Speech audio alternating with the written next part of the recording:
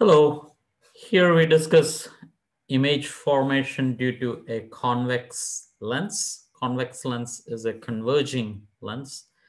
And let's begin by part E of the problem where uh, we have to discuss a ray or draw a ray diagram. And that will allow us to check our answers from A to D by seeing the consistency with the ray diagram. So let's have an optical axis this is the direction of light. It represents the direction of uh, light. So it's optical axis.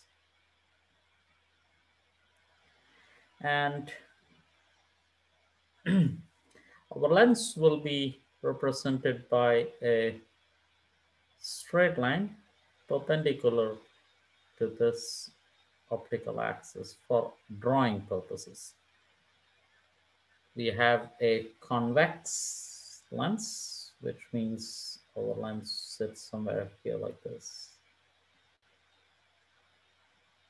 It's a transparent object.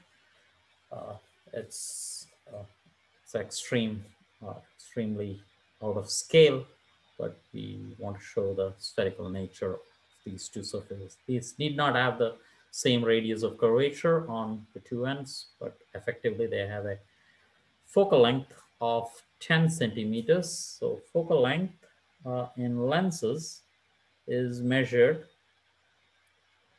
positive in the direction of the optical axis. Object distance P is measured in the opposite direction of the optical axis and the image distance is measured positive in the direction of the optical axis. Uh, the way to remember this is that uh, objects are typically placed uh, like light tends to go and form an image. So light goes through the lens. So it is expected to form a lens in the on the right side of the lens. That's a way of a mnemonic if you want, but that's not conceptually that needs to be derived. So these will be negative. That's your negative image and that's your negative focal. Positive focal length is what is called a convex lens, a converging lens, and a negative, a lens with negative concave, or sorry, negative focal length is called a concave lens, which is also a diverging lens. Objects are usually, object uh, are usually real, and that's when it is placed in front of the lens. So that's your front side.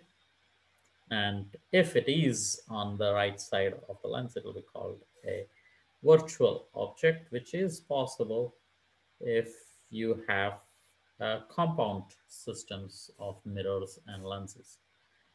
Image, this if it is uh, positive, this will be a real image. So if the image is formed on the right side, it is a real image. And if, if it is formed on the left side, it is a virtual image. This is unlike mirrors where everything was measured positive to the left and everything was negative to the right. Let's have a scale uh, on the top here. This will be our one centimeter height. Again, remember this lens is not, is only a, uh, a is there only for illustration purposes and for drawing purposes we should rather use the right uh, the, the, straight line vertical to the optical axis. The focal length uh, it's a convex mirror so it is uh, positive so that's your focal point.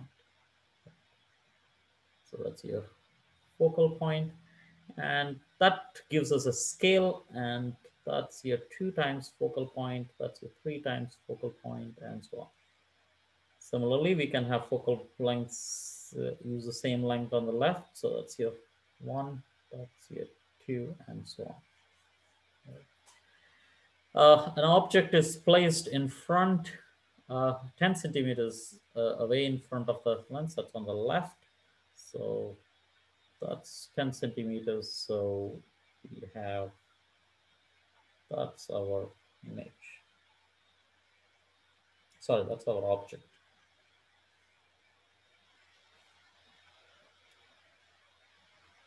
So that's our uh, object. And we have to follow two rays and the intersection of these two rays gives us the image. And in the case of lens, uh, unlike uh, mirrors, uh, or it's very similar in the case of mirrors, it is passed through the radius of curvature and the ray goes undeviated. In this case, it is go through the center of the lens, start from the head of the, oops, straight line, start from the head of the head of the object and go through the center of the lens and the ray goes undeviated, which means that it can be stretched backward. And that's my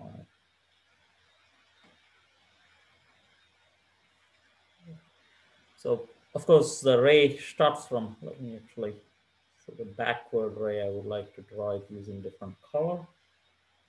So that's my reference line and again make it red so that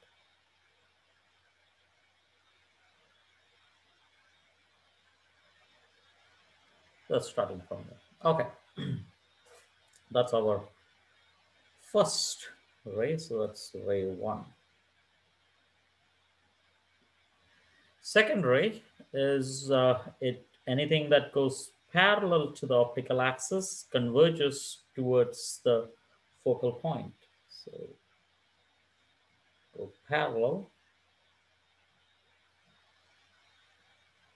So it goes until there. It's again, it is supposed to be within the aperture of the lens, but since we have an exaggerated version, it doesn't show it. So it reaches the lens. This whole line represents the lens. And from that point on, it converges towards the focal point. So that's so again have a reference line here. So that's I think I need it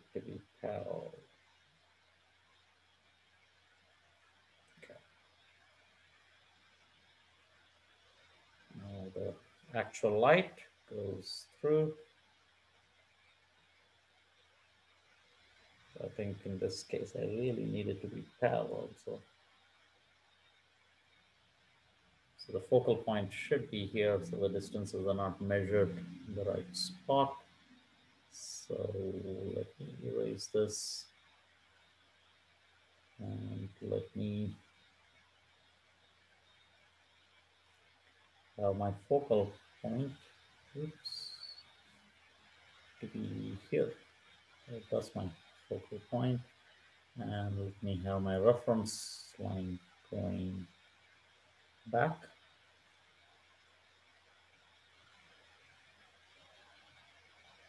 So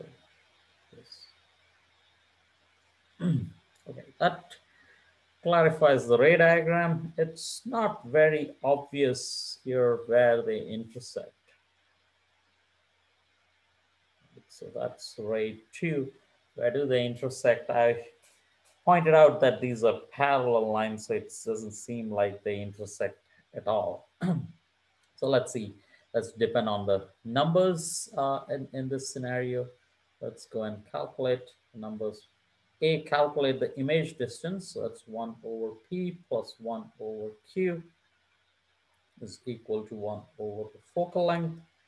And we have object distance is 10 centimeters. It is to the left, so it is plus 10. Three six digits plus 1 over q is equal to focal length, which is also plus 10 to the right so. These two cancel out, and this implies that, so this gives you a 1 over q is equal to 0, which means that q tends to infinity. and it also goes to infinity. It could be plus or minus, like we have to make sure where does it intersect. It is not very clear if the object distance were approaching. So if P approaches uh, plus 10 from the left hand side, so it is plus 10 plus small small angle delta. Let's me call that epsilon, a small angle delta. That means it is on the left side of the where the where the object is at this point. In that uh, case, it will be that would imply q is plus infinity. If p were to approach plus 10 minus epsilon, that means to say it will be somewhere to the right of where it is sitting here. In that case, the image is formed on the left-hand side and it is minus uh, infinity.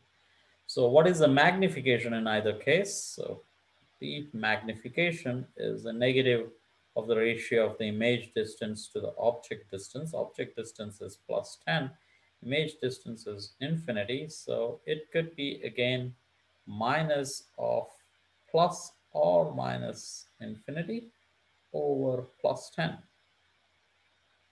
which is a negative or positive infinity. Right? We don't know that's what we will decipher that from the diagram very quickly, but except for the plus or minus scenario. Right? So magnification could be plus infinity if it is to move to the right, and it is negative infinity if it is formed to the left. Is it uh, upright or inverted? Again, if it is formed like if we were to move this object a little bit to the left, that means the, these lines will intersect on the right side and the image will be formed somewhere here, right? Very large image to the very right side of the optical uh, axis, like then it is inverted. So if Q tends to plus infinity, it is inverted. If the image is formed to negative infinity, that means it is somewhere out there, then the image is formed somewhere here. So intersection will be somewhere there. So that will be upright. And again, one should be able to see the negative and positive. So when Q is positive infinity, the magnification comes to be negative. The negative number tells you that it's inverted. And when it is negative infinity, it is positive. So the sign switches, it's upright. Uh, so that tells us the feature of uh, uh, interesting feature of lens where you keep the object right at the point where the focal length is, at least for the convex uh, lens. Let me stop sharing here and let me stop recording.